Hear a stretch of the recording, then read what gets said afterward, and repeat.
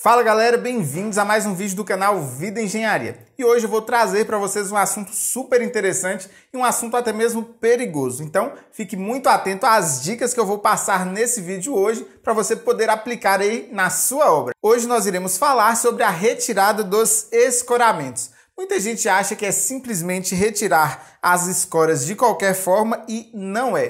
Para aprender mais, acompanhe comigo até o final e roda a vinheta!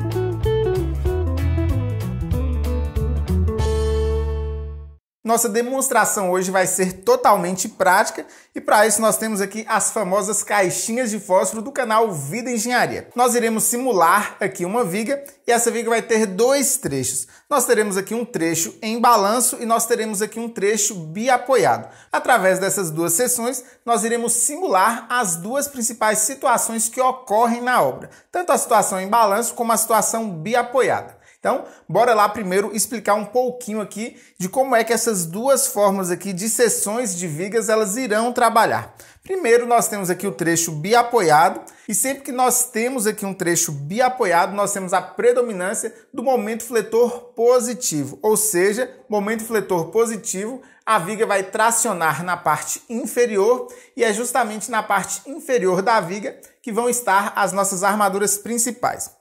Já nessa seção dessa lateral aqui, que vai ser uma seção em balanço, nós teremos a viga flexionando principalmente a parte superior da viga, ou seja, momento fletor negativo, armadura negativa. Traduzindo, nós teremos que reforçar aqui a parte superior da viga, ou seja, a nossa armadura de tração principal vai estar na parte superior. Vamos então aqui agora armar a nossa viga.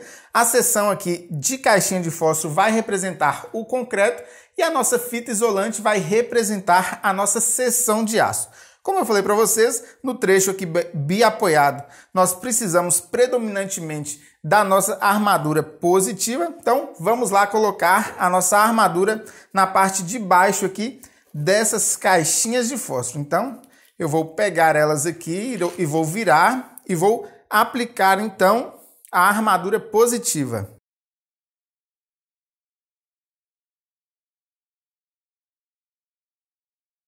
Então aqui está a armadura positiva aplicada. Vou retirar aqui por enquanto o escoramento, né, para a gente demonstrar como é que vai trabalhar essa seção. Então, como nós temos aqui a nossa armadura na parte inferior, percebam que a viga consegue ficar aqui plenamente apoiada aqui justamente porque nós temos compressão na parte superior, que é onde estão as caixinhas, e tração na parte inferior, onde está a fita.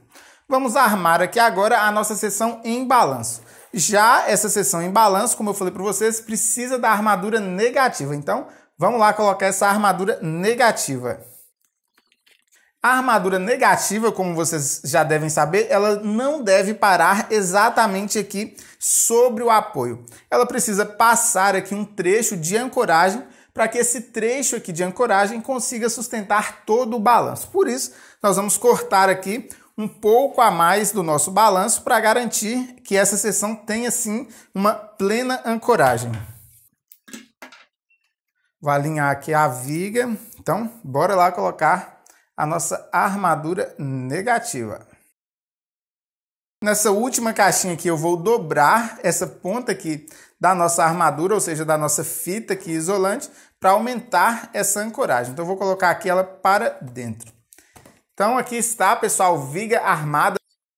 Veja que a nossa estrutura se comporta perfeitamente. Nosso trecho aqui positivo está com a nossa armadura positiva, nosso trecho aqui em balanço está com a nossa armadura negativa. Essa foi uma breve explicação sobre a armadura e sobre o comportamento da viga, mas o nosso assunto principal hoje é justamente sobre o escoramento durante a fase de concretagem dessa viga. Então, suponhamos que você vai fazer a concretagem. Eu preparei aqui algumas escoras nossas fictícias. Então, aqui no nosso momento negativo, na nossa ponta aqui do balanço, nós vamos pôr essas duas escoras e nesse trecho positivo, eu irei colocar essas três escoras.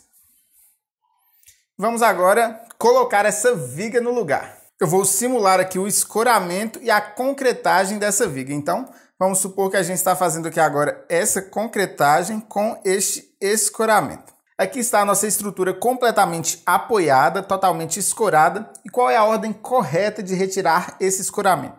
Eu vou iniciar explicando para vocês aqui sobre o balanço. Percebam que nós temos aqui um escoramento na parte externa e um escoramento na parte interna aqui desse balanço.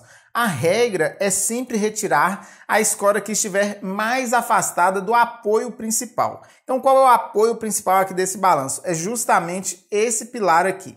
Então a ordem correta é sempre retirar do apoio mais afastado em direção ao apoio mais próximo. E por que isso? Porque quando a gente retirar esse primeiro escoramento aqui mais afastado, a nossa viga já vai começar a trabalhar em balanço que foi a maneira como ela foi projetada e a maneira como nós temos aqui a armadura principal. Para vocês entenderem, por exemplo, o que acontece se eu retirar essa escória do meio aqui primeiro, nós vamos ter uma seção aqui trabalhando de forma biapoiada.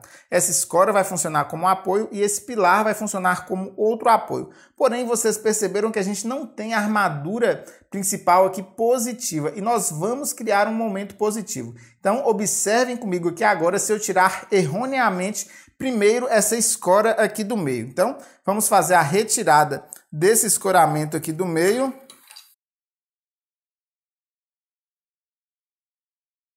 Percebam aqui no detalhe ó, que nós tivemos um afastamento aqui das caixinhas de fósforo exatamente na parte inferior aqui, porque não temos armadura positiva. Vejam só aqui ó, o tanto que as caixinhas estão abrindo e poderá ocorrer inclusive um colapso, porque como nós temos um apoio aqui na parte externa dessa viga em balanço, ela pode não resistir e vir a romper dessa seguinte forma. Já quando a gente retira, pessoal, da forma correta, como eu vou fazer aqui agora para vocês, iniciando da extremidade, então vamos retirar aqui esse apoio da extremidade. Então percebam que a estrutura ela já inicia o trabalho aqui em balanço e não irá sofrer quando você retirar a sua segunda escora. Então, a partir do momento em que nós temos aqui as duas escoras retiradas, nós temos a estrutura trabalhando da maneira como ela foi projetada. A questão aqui do trecho biapoiado é muito semelhante. Qual dessas três escoras estão mais afastadas dos apoios principais, que são os pilares? É justamente a escora aqui central a gente tem que ir retirando do centro em direção aos apoios para que a estrutura trabalhe de maneira positiva, com momentos positivos. Então, a gente retira primeiro esse escoramento aqui do meio, já temos aqui um momento positivo, e depois a gente retira os escoramentos aqui mais próximos dos apoios e a estrutura vai trabalhar perfeitamente.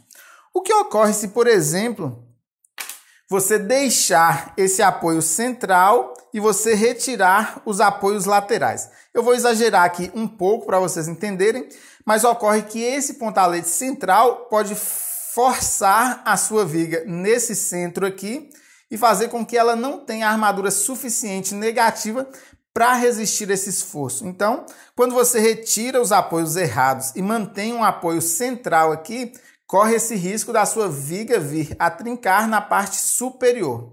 Então, lembrem-se sempre, quando vocês tiverem balanços, inicie a retirada do escoramento da parte externa do balanço em direção à parte interna. E quando vocês tiverem uma estrutura biapoiada, iniciem a retirada do escoramento da parte central em direção aos apoios. Espero que vocês tenham entendido. Como vocês puderam observar, deu bastante trabalho fazer todos esses escoramentos aqui com espeto e palito de picolé e também montar toda essa estrutura. Eu acredito que isso aí vale sim um like de vocês nesse vídeo. E se vocês não são inscritos ainda, se inscrevam agora mesmo no canal Vida Engenharia. Vejo vocês no próximo vídeo e fui!